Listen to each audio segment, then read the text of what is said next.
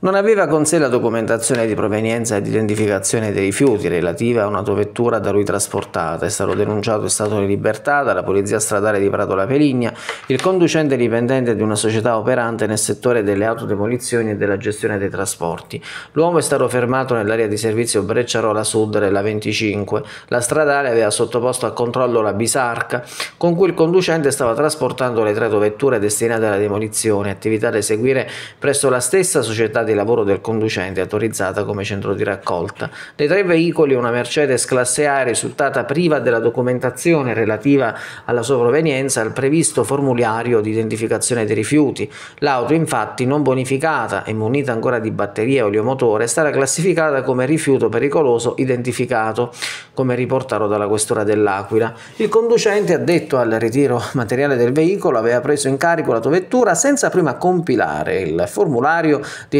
di identificazione. Dopo la sua denuncia sono in corso ulteriori verifiche a fine di accertare la corretta gestione nel trattamento dei rifiuti.